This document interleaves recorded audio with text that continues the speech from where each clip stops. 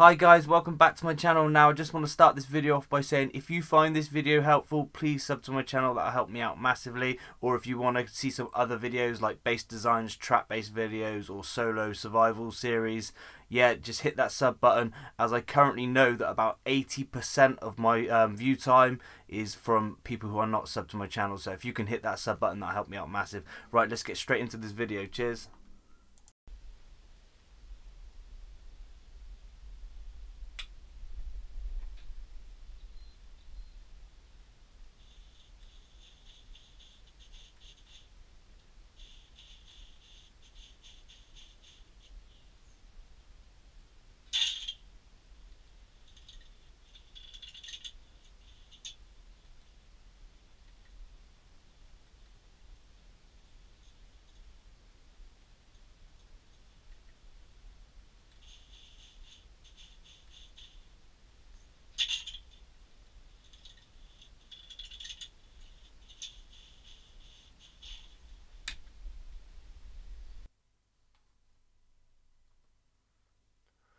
Okay, welcome guys. Now, first off, I'm going to start off with the requirements, the stuff you need to actually do this setup.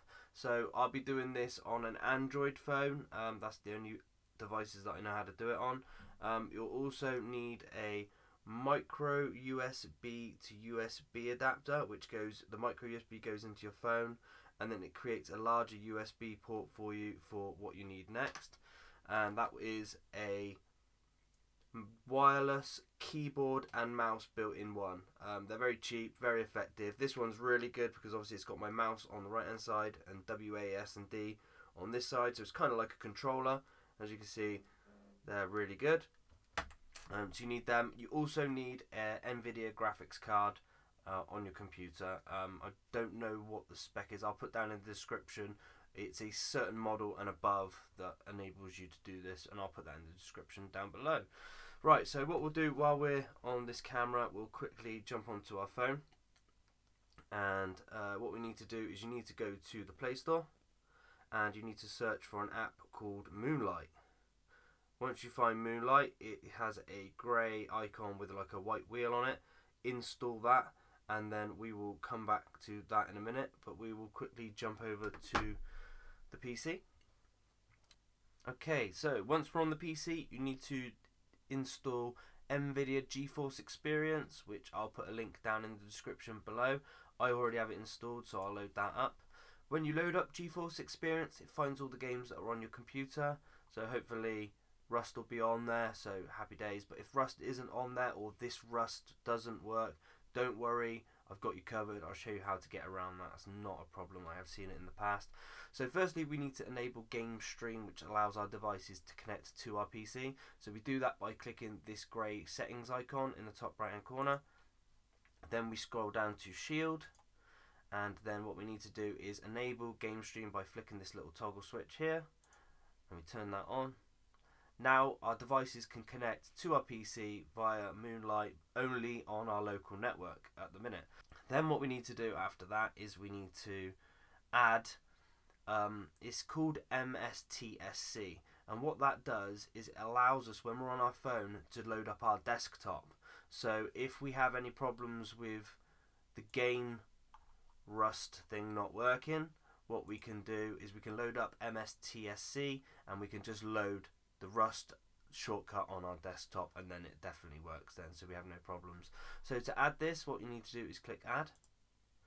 Go to your C drive if that's where your Windows is installed which mine is. I go to C drive, Windows, scroll down, go to Windows uh, System 32 sorry, System 32 and then you have to scroll quite far down in this one down to M and we are looking for MSTSC. So we add that. Once that's in there, we are good to go. So what we do then is we go back to our phone and then what we do on the phone is we load up the Moonlight app and it will find our computer. As you can see, it's found my PC but it's got a lock on it. So I click my computer and it says pairing. Please enter the following pin on the target PC.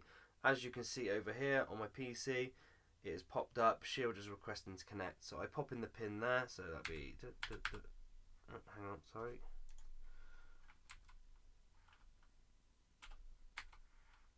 There we go 6878 and click connect. And there we go. Now it's showing all the games on my PC on my phone.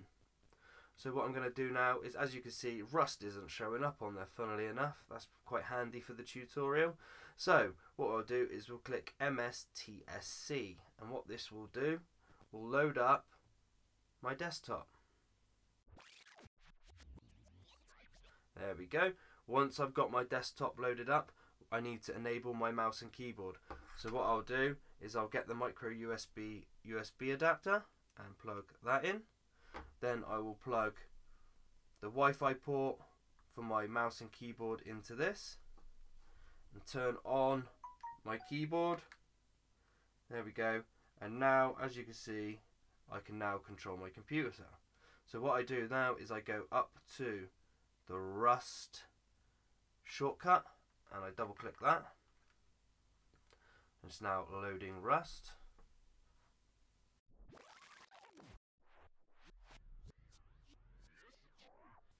Okay, so Rust is now loaded. Um, I will go to play game, as you can see. go play game, and then I will go to any server. It doesn't really matter. Let's just go to this one.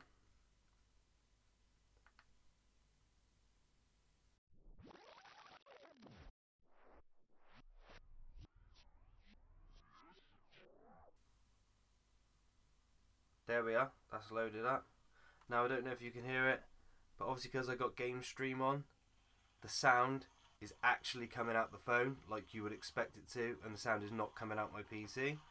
So there we go. So if I wake myself up, there we go.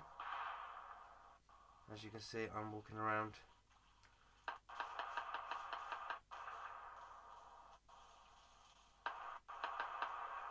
Now it is a little bit laggy, not gonna lie um, and this is even on my my net local network. So uh, you can imagine over 4G you're going to have lots of problems. Now it's perfectly fine if you want to be the base bitch um, or you you don't get to play much, so you want to get all your crafting done. Or you want to sort all your boxes out when you're at work on a break or something. It's perfect for stuff like that. It's absolutely perfect.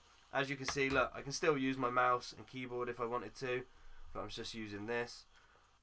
I've done this many a time when I'm at work. Works perfectly fine. You're not going to be able to go out and PvP on it, that's for sure, but it's just you can log in, you can check you haven't been raided, um, you can just get bits done, so it is really handy.